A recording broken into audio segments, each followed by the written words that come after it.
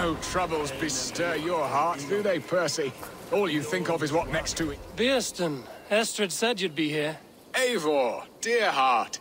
You who drew back the bow of Eros and reunited me with my one true love. Have your Thanes asked why you do not look for Estrid? Pish. They have asked, yes. I said it was hopeless. Then I lay upon my couch, sobbing and wailing. A pretty show. That may not be enough. Tut tut. The wind is soft upon our faces, and I am far from the whispering doors of Colchester. Come, let's hunt!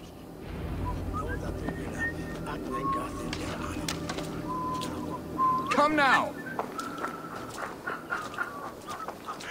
Madre plata es huella como en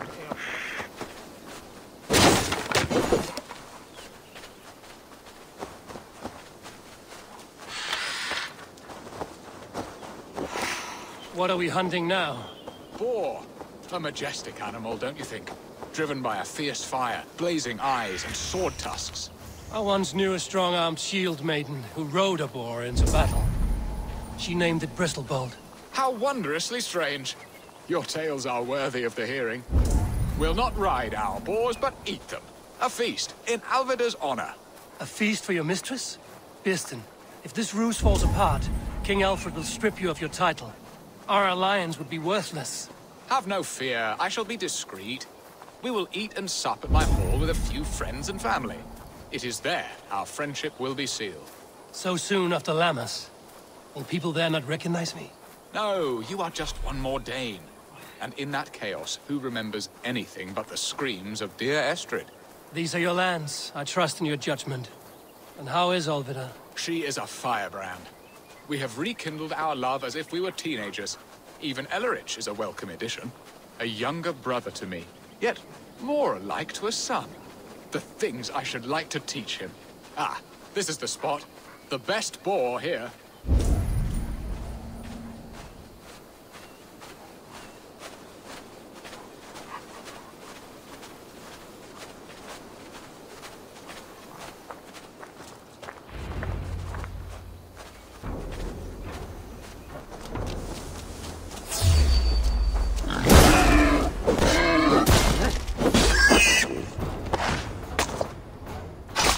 I shall suck the scrumptious marrow from your bones, you porcine devil!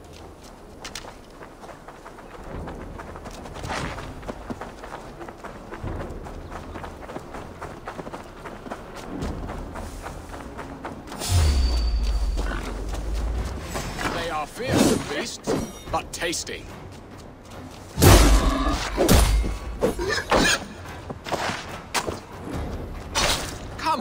Feast table won't fill itself.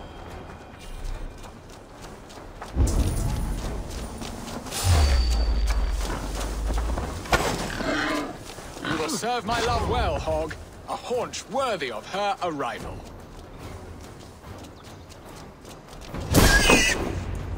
My bow arm aches.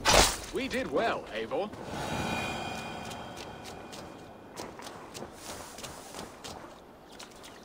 A good hunt, Birstan.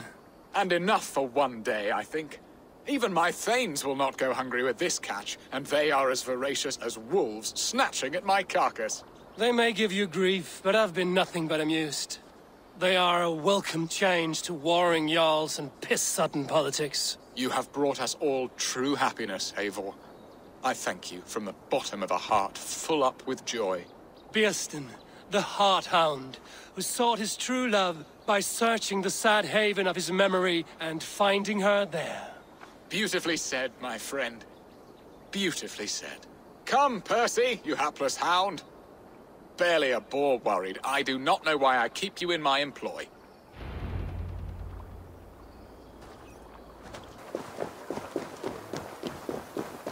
Adas shall Western Twintus Wattas. Onnen.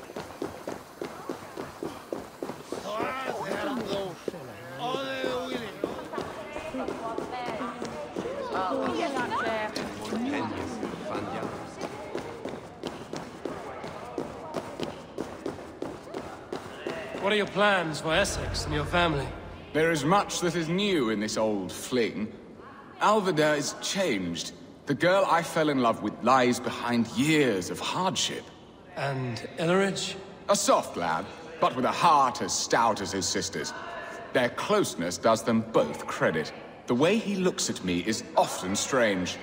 His eyes furtive and downcast, like a hound waiting for his master's crop. It worries me, to be honest. Can I be both a brother to him and a love to his sister? Give him time, Birstan. He had his sister to himself all his life. Yes, yes. But tell me, Eivor, did you succumb to my flighted bird's charms? She can turn one a tremble with her eyes. You're talking of Estrid? Do not be coy, it does not suit you. It's not coyness that keeps me quiet, Birstan. We grew close. I won't say more. Fair enough. I should not pry. All that to say, I am only glad she has found a chance at happiness again. Lord knows I could not give her that. But these are grim thoughts, and I will not let them lay their cold grip upon me. Tonight, we feast and celebrate.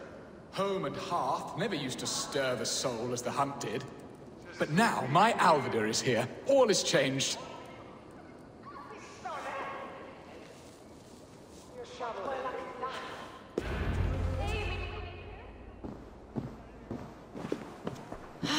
Birstan, you promised we would never be apart, not for one waking or sleeping moment, and already you're sneaking out to hunt. Ha ha ha! For the feast, sweetling. We owe our mutual friend a great debt. One that I promised to repay over suckling pig and ale. Sister, have you forgotten where you are? I have a right to happiness, Outreach. Or am I to play nursemaid forever, you ungrateful pup? Happiness, yes. But you embarrass yourself nightly, heaving and sweating with this ham hock. Hold your tongue, boy. Lest we both speak our truths. What truth have you to speak? That you've returned to this fickle man who abandoned you years ago for a Frankish pet? A woman he paid this Dane to abduct in that lammish shadow play? Mind yourself, boy. Or that you let him sniff and paw you and take him to your bed on the promise of nothing? The whole of Essex whispers now. He's married still, his wife freshly stolen, and you are no more than... than his... I am the mother of his child, you whelp! Child? Alvida? Please, my boy, I... I... I will never forgive you for this. Never.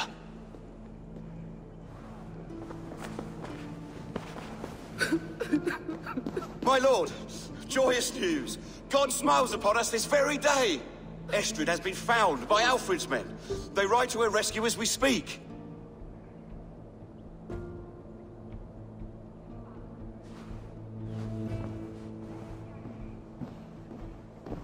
I will not let this plot be undone. Nothing is safe till they are away to Francia. I will fix this, and one day I will call on you, and you will come. You can count on it, my friend.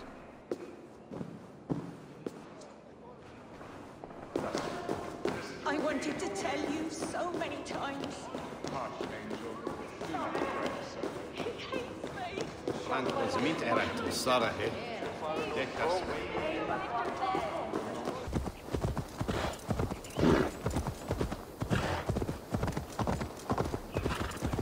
Estrid is so close to freedom. I hope I'm not too late.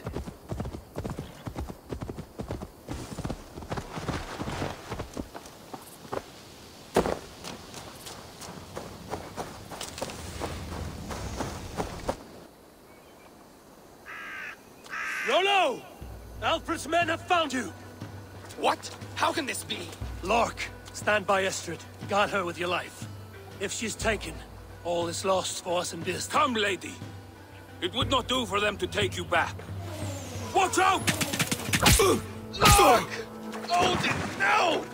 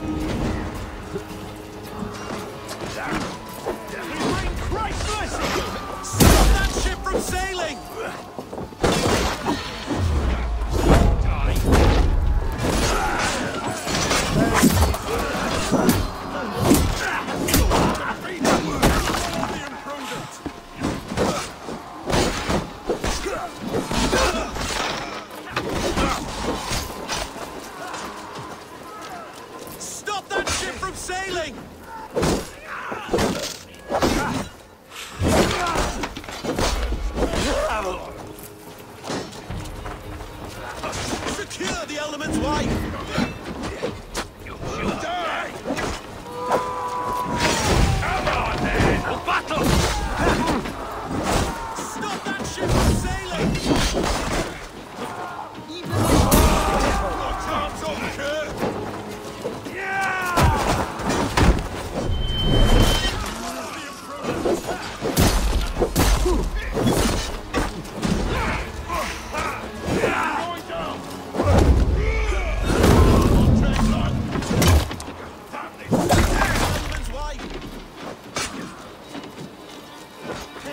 Gold grant me strength!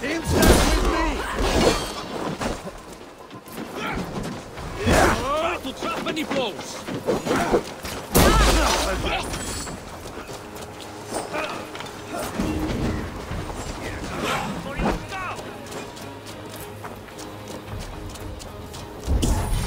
What's my lead?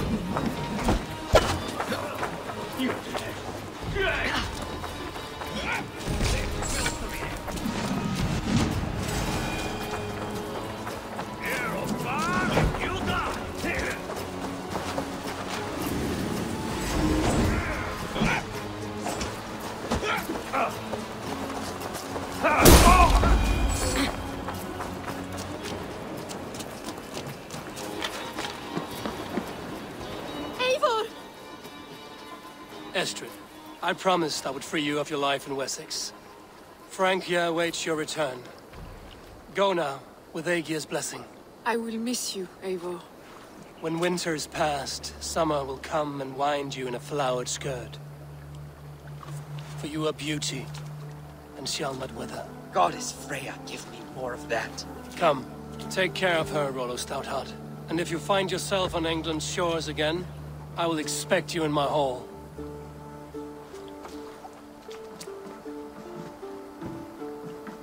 Good. They are safe. Birstan got his end of the bargain, and Estrid is to Francia. I should return to Randvi.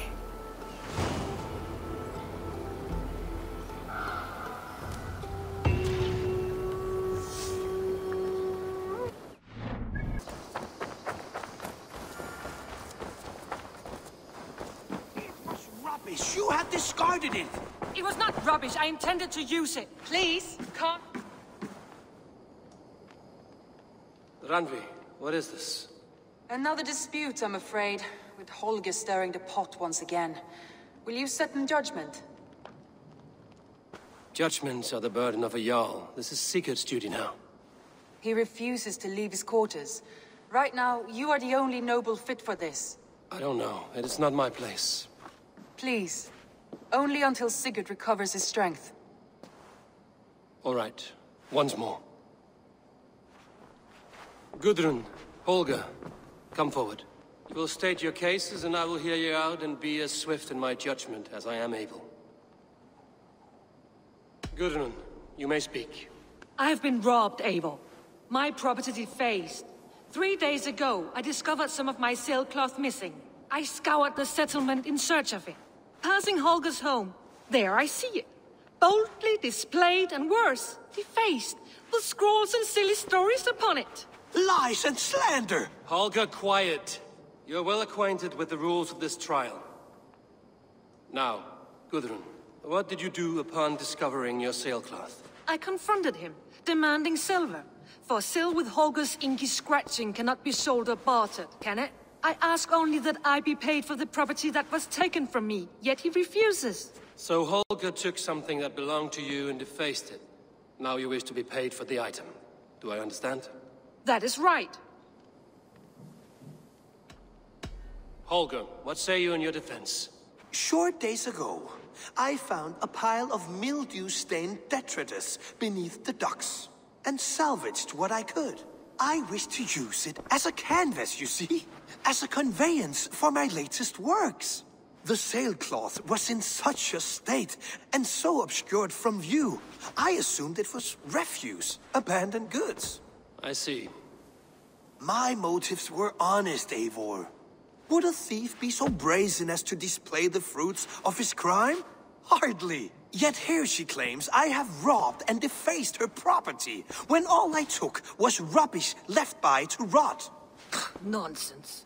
My only crime here is that I gave something ugly and decrepit a bold new life. I see. So you feel Gudrun disposed of something and now unreasonably seeks its return? Exactly, yes. All right, I have heard enough. I might have profited from that cloth. Holger has all but robbed me of a future boon. It was garbage. Yet now it's a part of something greater. If anything, I have increased its value. You ought to thank me. Oh, I will thank you with the back of my... Quiet! Let me speak.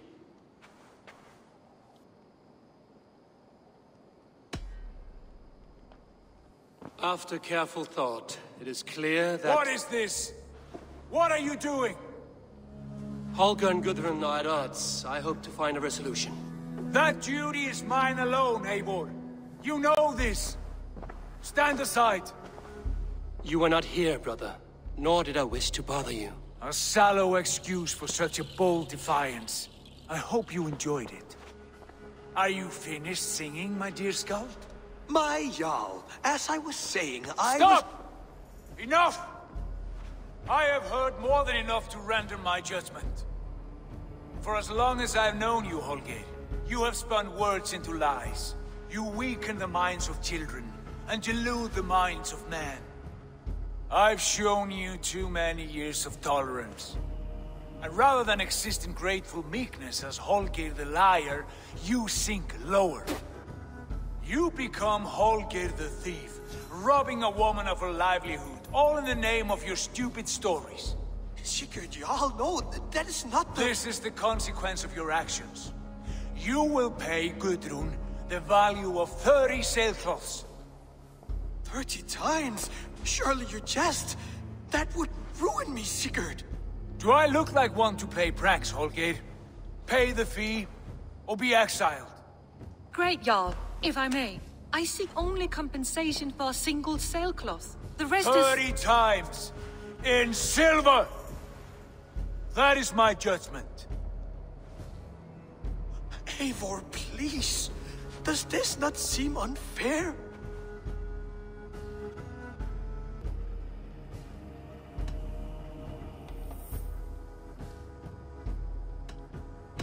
Sigurd, the punishment must fit the crime.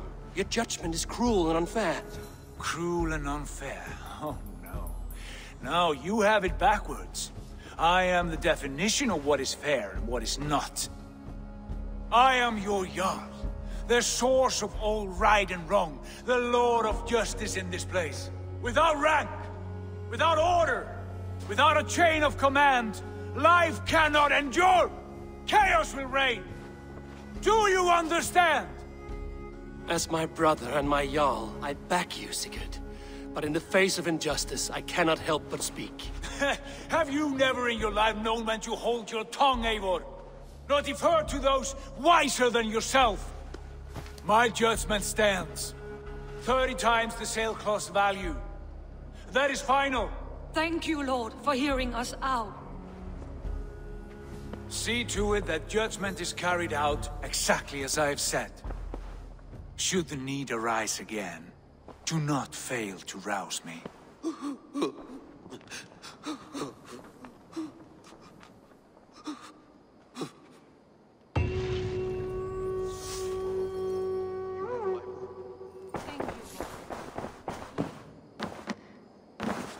Good day, my love.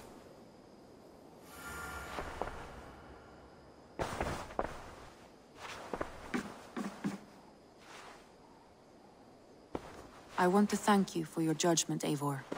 For stepping in when Sigurd would not, in spite of what happened. Poor man. I've never known him to be so angry and reckless. Is that a side you've seen? Rarely. There have been moments when he was distressed, worried, afraid. But nothing like this. Never, ever like this. Let us do our best for him as we take care of our own. We're his best hope for healing. If it is not too late. In the meantime, we press on. In Essex, I played a matchmaker and a heartbreaker. An easy way to forge an alliance, but... Let us stick to war and diplomacy. Understood. Thank you, Eivor.